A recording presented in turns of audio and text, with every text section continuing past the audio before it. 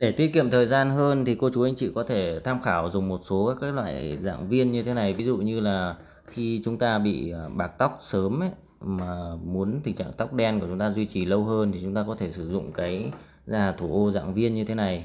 Hà thủ ô tẩm mật ong ờ, được đóng thành dạng viên mỗi một hộp 500g, à, giá là 100.000 đồng một hộp như thế này thì ờ, mỗi một hộp này sẽ khoảng tầm trên dưới 1.000 viên và mỗi một lần chúng ta sử dụng thì sẽ sử dụng từ 7 đến 10 viên cho một lần uống và uống hai lần trong ngày.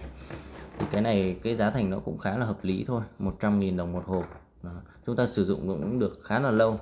Ờ, dành cho những cái người ờ, thường xuyên bị bạc tóc này cái máu nó xấu ấy, thì chúng ta cũng thể sử dụng nó giúp tăng cường sức khỏe nữa. Chống oxy hóa. Tiếp theo thì chúng ta sẽ có ở đây là cái viên cà gai leo. Viên cà gai leo thì cũng một hộp cũng là 100.000 đồng và cũng trên dưới 1.000 viên một hộp. Và cái giá cái giá thì 100.000 rồi, hai loại này cũng giống nhau.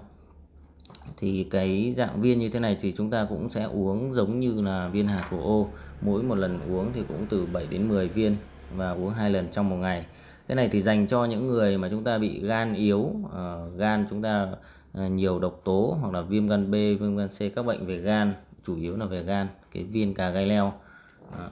tiếp theo thì chúng ta sẽ có ở đây là cái viên tinh bột nghệ.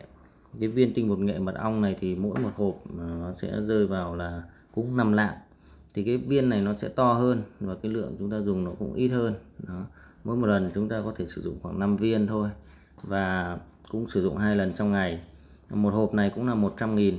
Đó thì ờ, cô chú anh chị ờ, có nhu cầu về như là cái viên nghệ này à, viên hà thủ ô và viên cà gai leo thì có thể liên hệ mình qua số điện thoại trên màn hình 0947010585 và 0974010585 cả hai số mình đều có cả Zalo và có cả Facebook. Ngoài ra thì mình còn có rất nhiều các mặt hàng khác nữa.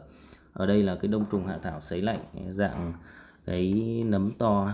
Cái này là nó rơi vào là 400.000 đồng một hộp như thế này ờ, 25g đông trùng, sấy thăng hoa.